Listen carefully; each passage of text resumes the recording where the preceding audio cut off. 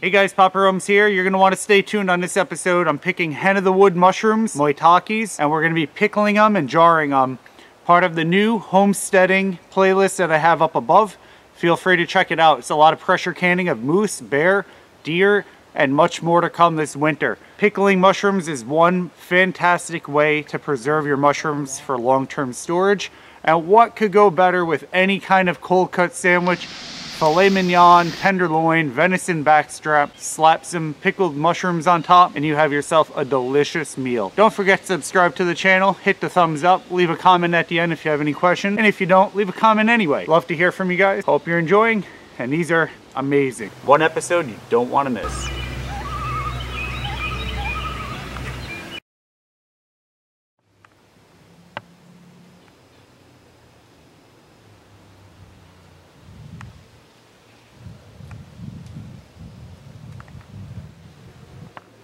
Here we are back at the same exact tree that I was at last year and we did a shoreside lunch. Awesome video. Please check that one out. It was a great video by the way. This time around, now that I'm doing the homesteading playlist, I want to just go over what we're doing. So first off, you have to be able to identify your mushrooms. Never do this. This is a little disclaimer added. Do not take my videos for granted and do not go picking them based upon my videos alone.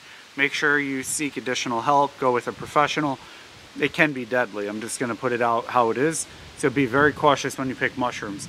But if you get the correct mushrooms, they are not only highly sought after, but they are delicious. One of the ways that we try to preserve them is pickling them. Can add to the longevity of having a nice firm mushroom and it'll keep it for quite a while. We keep them for up to two, three years, or you can freeze them. What we're doing here is I have a nice long, sharp knife. So what you want to do is when you collect your mushroom and if you want to learn the identifications, check my mushroom playlist. And again, you can watch the other video on harvesting them last year and I cooked them up shoreside. That was just a great video. Adirondack foliage was just popping on the lake. Really, really beautiful stuff. So once you have your identified mushroom, you're gonna want to chop off the bottom nice and clean in the wood. So when you pick it, you cut it off so it leaves the spores. It'll keep coming out. This tree we found, I think about five years ago, and every year produces um, mind you, you got to watch the temperature, humidity, and uh, rain. If we get rain, which it did three days ago, I usually come here with the right temperature in the 40s and we get good mushroom. What I notice now is every year I get bigger and bigger clumps because I'm shaking the spores around. And what we also have is the chicken of the wood mushroom for the first year is growing all around here. I don't know where that one came from. We didn't dump it, but they're all around here as well. So we're getting two types of mushrooms, both edible. I don't, I'm not crazy about the chicken of the woods. I find them more of a, a woody mushroom. A lot of people like them. But when there's so many other delicious mushrooms that are far better, I go for them. Although the chicken of the woods do have a lot of anti-inflammatories in them, where these have more cancer fighting the hen of the woods. So different things and they're good to eat as well, but I prefer these. These are the, the prime mushroom that I like to pick and uh, we're getting them before the bugs get them, I could tell. You're want to make sure they're totally firm. If they have a lot of holes in them, just fry them up that night, cook them that way, eat them. But because these are perfect, we're to cut every one of these around, clean them, and I'm to show you how we prep them. But first we got to pick them. So stay tuned. Let's get these picked up and we'll uh, bring them in. There's a lot of cleaning to do.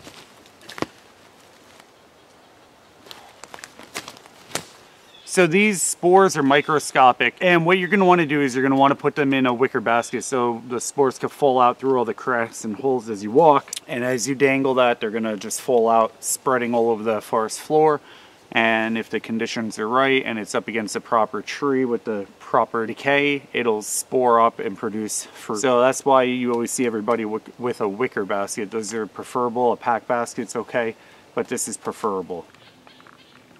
So you have your clump here. This is what they're going to look like up against an oak tree. Uh, I've never found them really up against other trees uh, too often.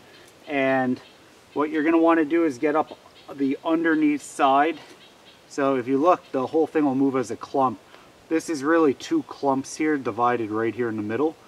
But you're going to want to take your long knife, come all the way equal to the floor, level, parallel, and you're going to come across cutting it nice and clean. Okay, so you have your two clumps here, and when you pull them up, you're gonna have all your dirt on the bottom Just side. Just take them and clean right around the bottoms here. Just kind of cut with your knife. That's why you want a long edge sharp knife. And then that's a lot of the spores in the root and that goes exactly where I pulled it out of in the same hole. And we try to get as much of that dirt off the bottom. So you have quite a bit here that'll cake up. And when you wash them, you're gonna have all that dirt go in between so you don't want that. So you just kind of try to clean that and shave it right off here too. And we're gonna put all this back in this area. You could eat it if you could wash it, but I mean, we have a lot of mushrooms we're gonna be going through. You wanna get rid of all that dirt. Because as this shakes onto the other mushrooms that are in your basket, you're gonna get it all fallen in between all the layers right where you want to eat it and then when you go to eat them you're gonna have grit and you don't want to eat grit. See here you're always gonna have with wild mushrooms dirt in them not cultivated. But these are beautiful beautiful beautiful hens of the woods other known as maitake. So just kind of flick that off take care of them they'll take care of you and it'll be less work later. You're always going to have little insects inside. That's normal as long as they're not rooting into We're it. We're going to get these cleaned up and picked and then we'll go to the next step of how to clean them, how to wash them, and then how to pickle them. I mean, they're just popping up everywhere here. I'm getting more and more and more of them constantly. Look how beautiful.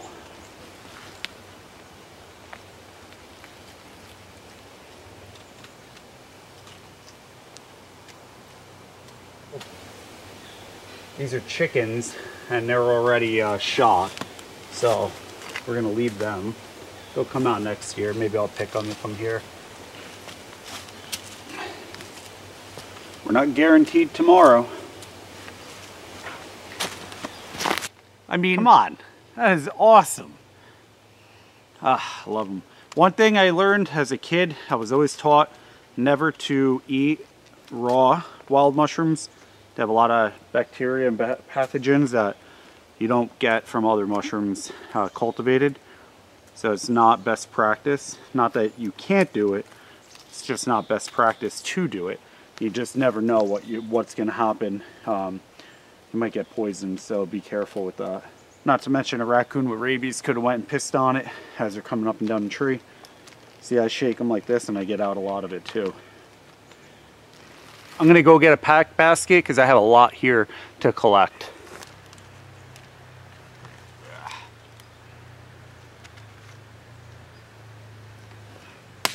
We ended up getting a pack basket because there's too many mushrooms, so we put one of the clumps down and then you just want to carefully put them on top.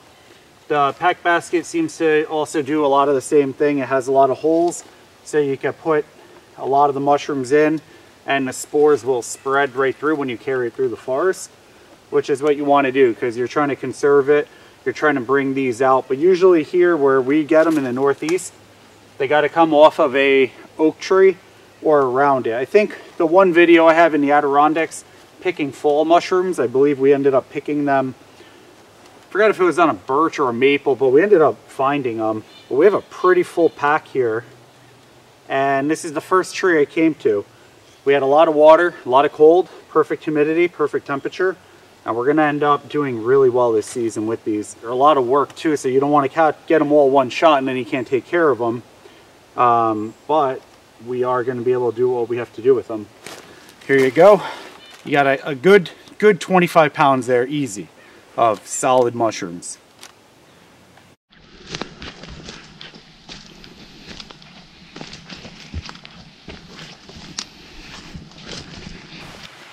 All right. So here with my father, I just found another cluster. We're gonna take these too. Get a big knife? Yeah, get a knife. We'll cut them.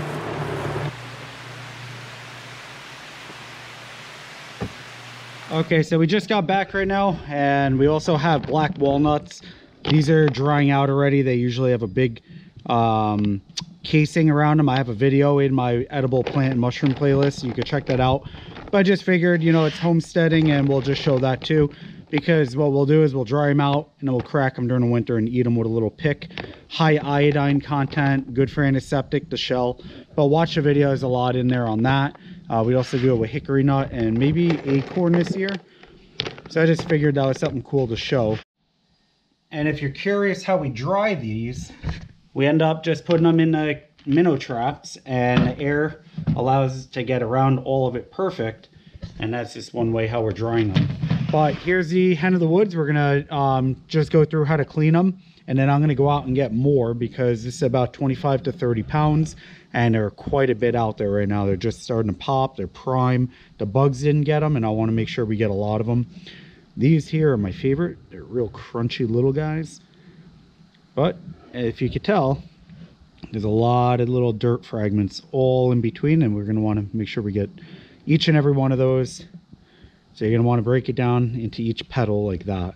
So you have one petal and then these get washed, rinsed, rinsed again, and then pickled. And that's a process. Got my mother here. She hates being on camera, so give me a shout out for that. A nice little cluster.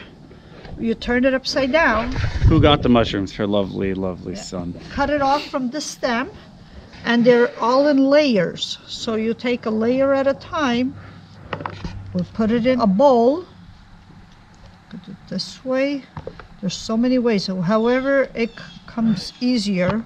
You could peel them apart by your fingers Right. too. And- And I usually use a knife because there's a lot there's a lot of dirt in between.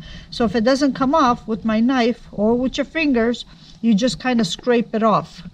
But the knife is easier. You rinse them off and you put them in your container. See how they have all that dirt? Lot That's what we got to get out. sometimes they're better, sometimes they're harder. These look good. These have a lot of dirt in them though. Well, But not a Not as lot. bad because we had worse in the past. Yeah, So these are not too too bad. some of the clumps like this one, you got to watch. I wonder if we could get a vacuum cleaner. No, no.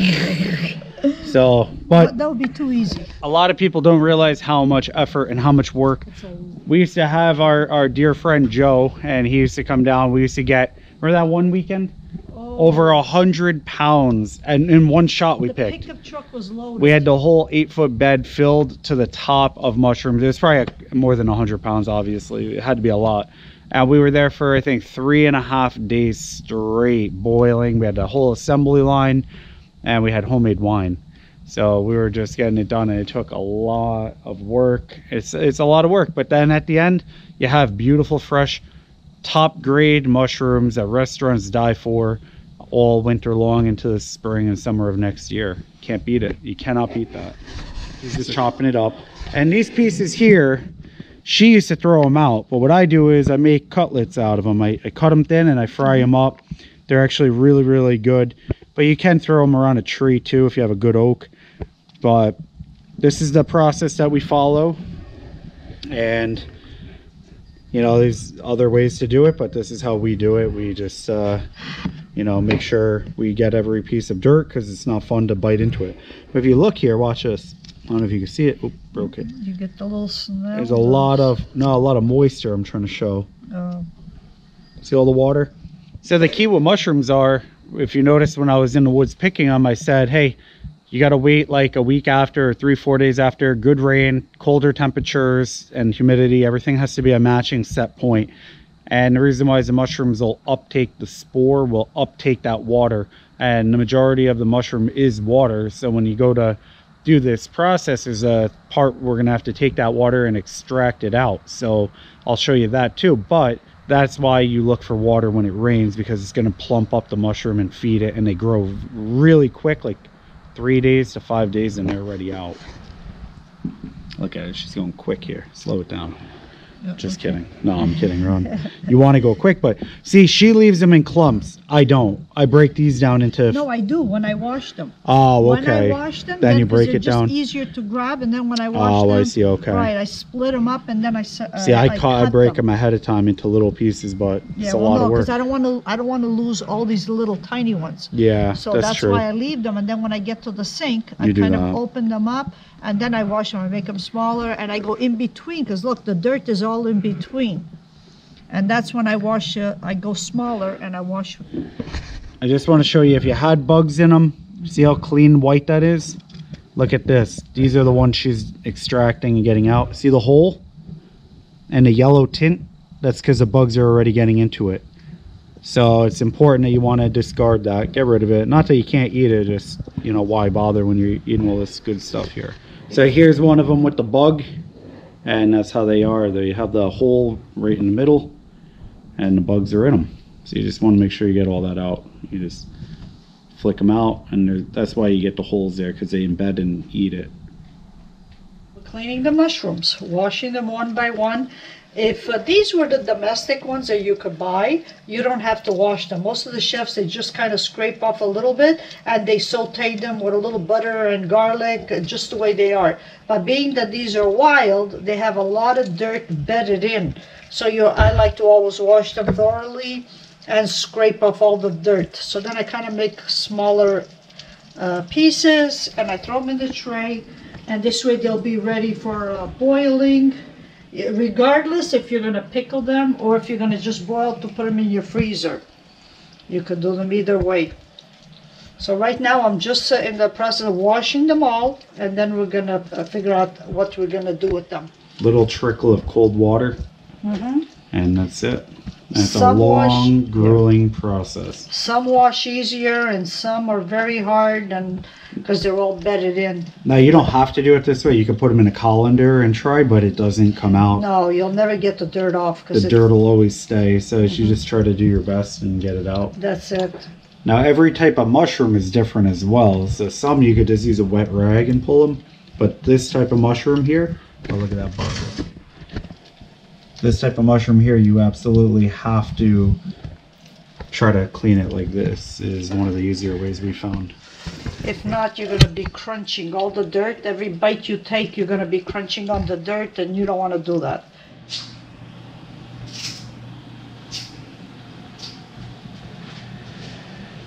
All right, so good morning.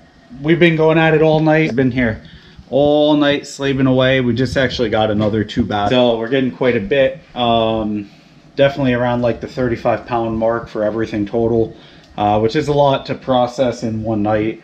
So these are just a small portion of it. And what I wanted to show you is here. I'm gonna make a breakfast omelet. So I just have uh, some stuff out of the garden. We have some garlic, onion, chive, and then just black pepper, paprika, parsley, and garlic salt, some eggs. Got three eggs there. But these pieces are unique. A lot of people throw these out. And they're not, the reason why I throw them out is because they're not like, uh, you know, the choice cut, because this is a choice here. These are those right there. And these are the bottom pieces. Most people would just discard that because it's really uh, a lot harder, but it tastes really good. So I'm not going to let it go to waste. We have some fresh olive oil, and you want to get the water out of these. So just throw these in. You're going to hear them cooking down a little bit because they have pretty much all water in them. All right, so I'm going to let that simmer for about five ten minutes, and then I'll all right. back. So for the last 10 minutes, the vapor's been boiling off, and that's just the humidity. So I'm going to flip them over, and now they look like a golden brown potato.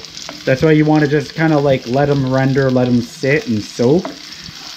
And that's the best way to, to do this for this type here, because it's thicker. So now these are pretty much cooked, but I'm just going to let them cook down a little further. I like them crispy. And we're going to probably throw a couple of these in there too. Like this much. This many's. Get a couple of those. Moist, the moisture is all boiling off of the ones I just put in. And that's what you want to see. You want to get that moisture out of the mushroom so it can cook down. So now what we're going to do is just make a little pocket here, right in the middle.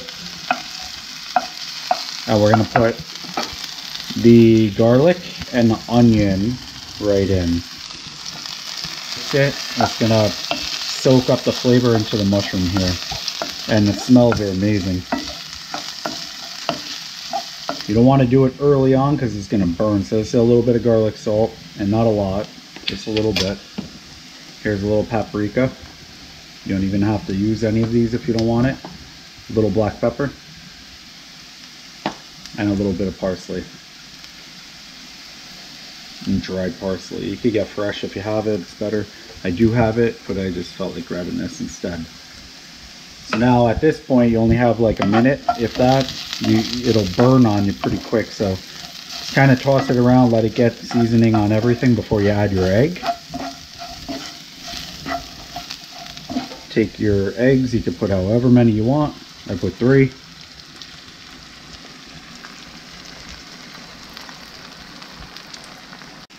And, and now you can take your chives, sprinkle them on top.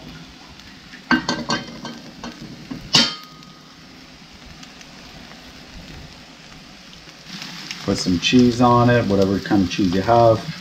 And then I just kind of flip it like this. Broken omelet, but it'll taste good. And that's it. You're all finished. Breakfast with pieces that you're gonna probably throw out, so. All right, so we're gonna give it a shot here. First, I just wanna see one of these little pieces.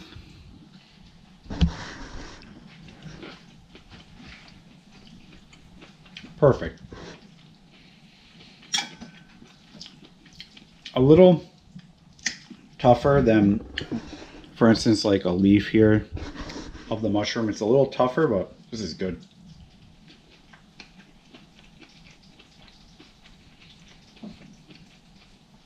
You never had these, you should go get them. If you don't find them, buy them.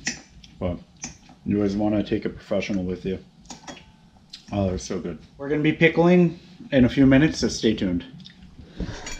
So first we did the harvest, then we showed you how to clean them.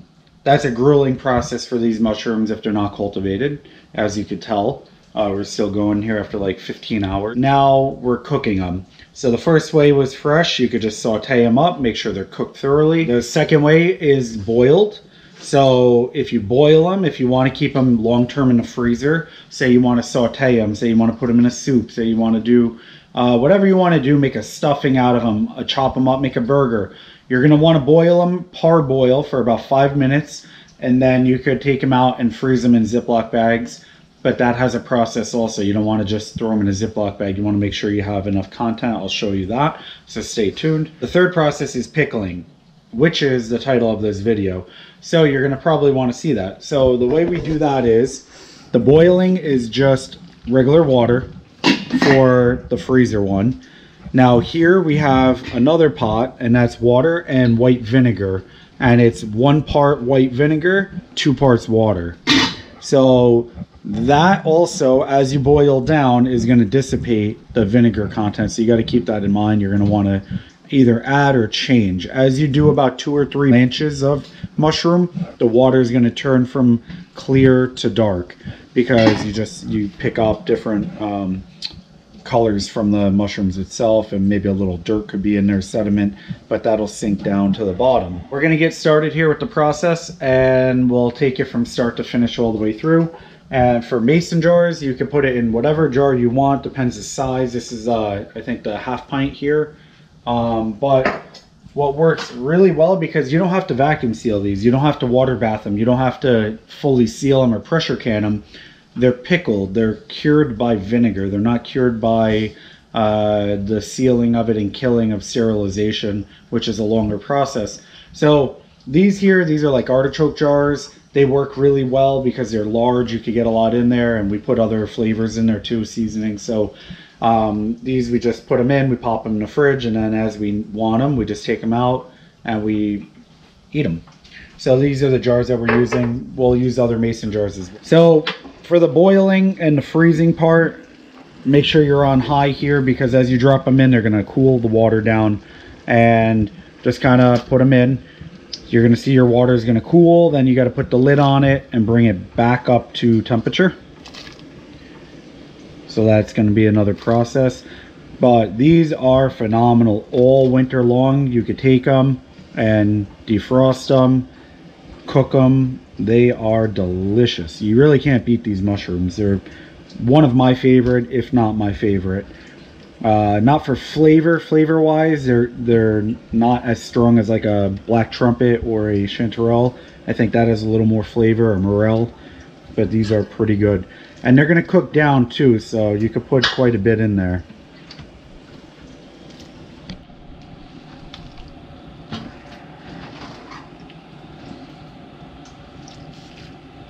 Now it looks like a lot here, but it'll cook down once they wilt. So we could even add more to this. You just got to watch your water.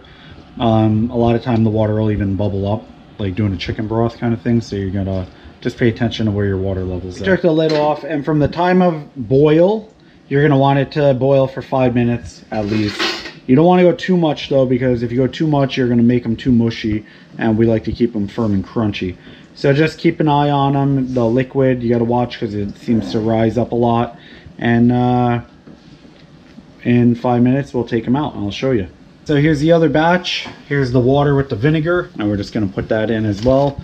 I think we have a lot of uh, water in this one, but we'll see how it goes. You can really smell that vinegar. We put a little more than um, what they say you should put just because we want to make sure that we really do pickle them well but you're cooking them also but the pickling is the preservative that's in there these ones are boiling up for freezing. So got quite a bit here. This will make a lot of jars. Good homemade jardinier. jardiniere say it with me folks. Jardiniere so we don't want to overcrowd this one just because we have a lot of vinegar in there but I don't want it to spill over. So we'll check on it in about five ten minutes. So a key tip, the mushrooms I got today were aged a little more, they're bigger. For pickling, those are better because they're gonna stay more crunchy. Versus a smaller one will be better for sauteing up right then, but they're good no matter which way you do them. So these have been sitting here for about uh, 10 minutes, they boiled up, and now we're just gonna take them and strain them out. Okay, and you're going to put them in a tray. You're going to spread them out and just let them cool until they're uh, cool to touch.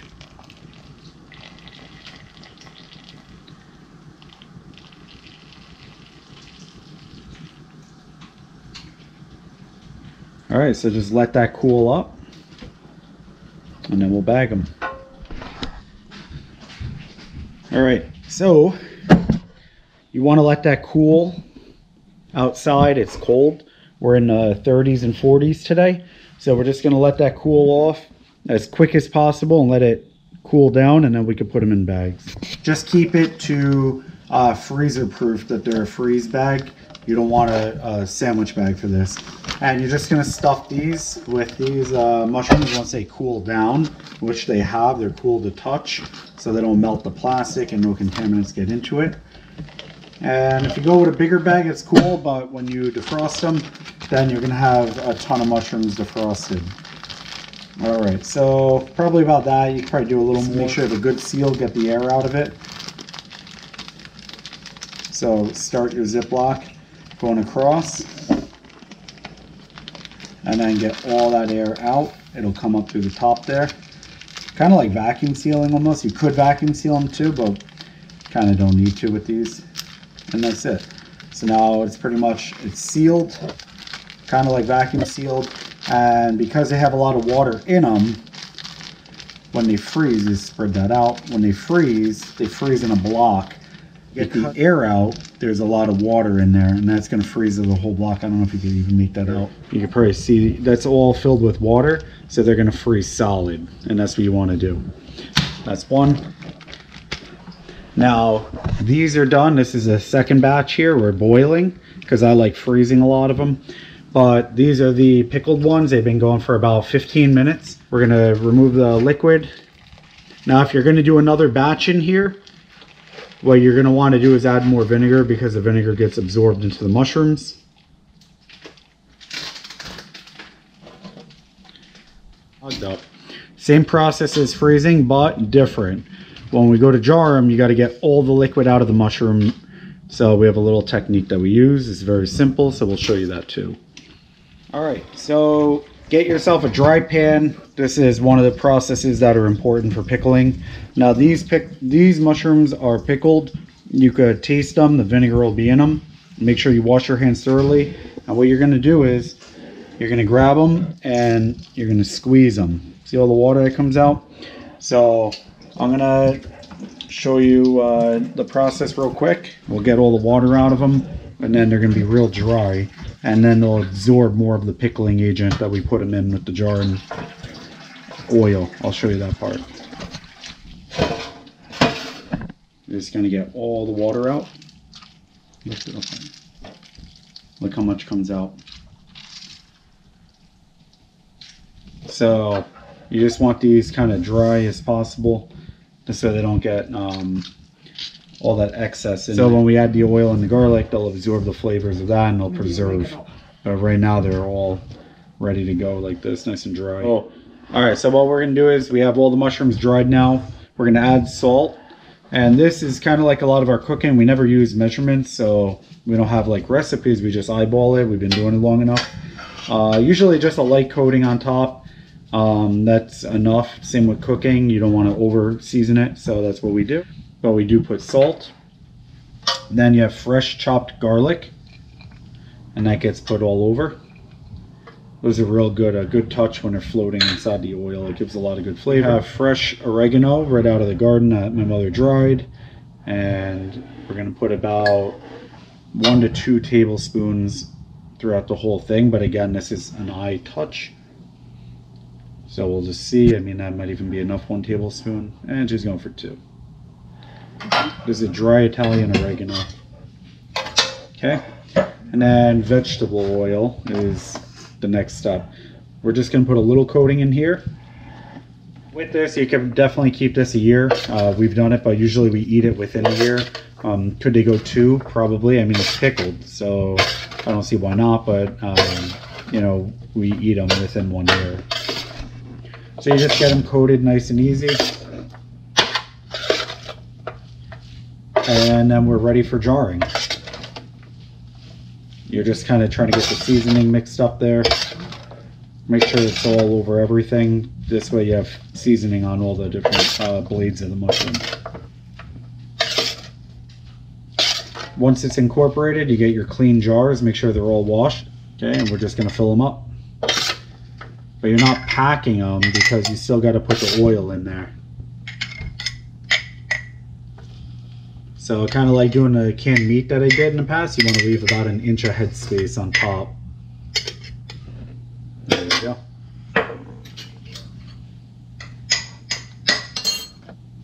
Vegetable oil, and we're going to fill the jar. You could use the bear lard that I did too. That's another thing, but you have to have this oil or the air will get to it and spoil it. So the vinegar is going to come out of the mushroom again and mix with the oil.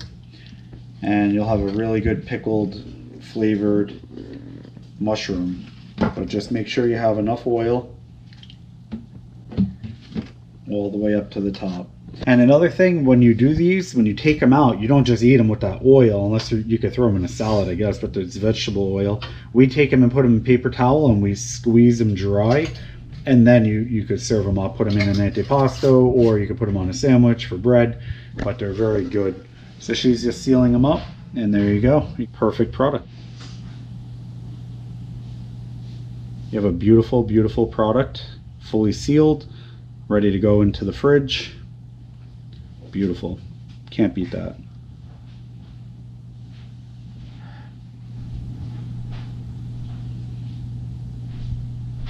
And enjoy this video. Don't forget to subscribe.